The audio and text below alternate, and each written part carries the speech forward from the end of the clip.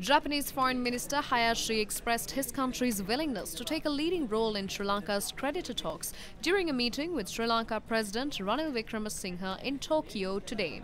President Wickremesinghe expressed regret over the breakdown of relations between Japan and Sri Lanka following the cancellation of several investment projects by the former government. The president stressed that he was keen to restart those projects. The president also indicated that the government was interested in Japan investing in Sri Lanka renewable energy projects. And he said that he was saddened by his sudden death.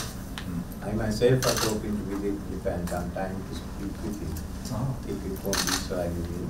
Mm. Uh, but it also has become a uh, occasion when we come here, Japan-Sri Lanka relations in mm. the last two, three years, mm. to the Prime Minister and to His Imperial Majesty.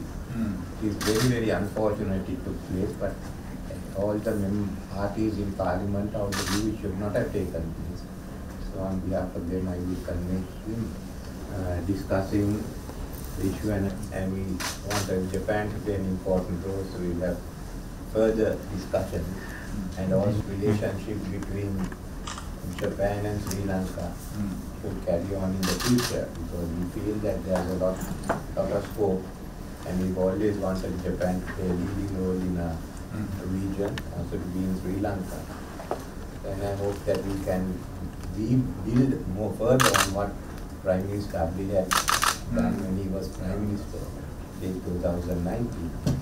President Ranil Wickremesinghe met with the Prime Minister of Singapore in Tokyo today and said his priority was to bring into effect the free trade agreement with Singapore.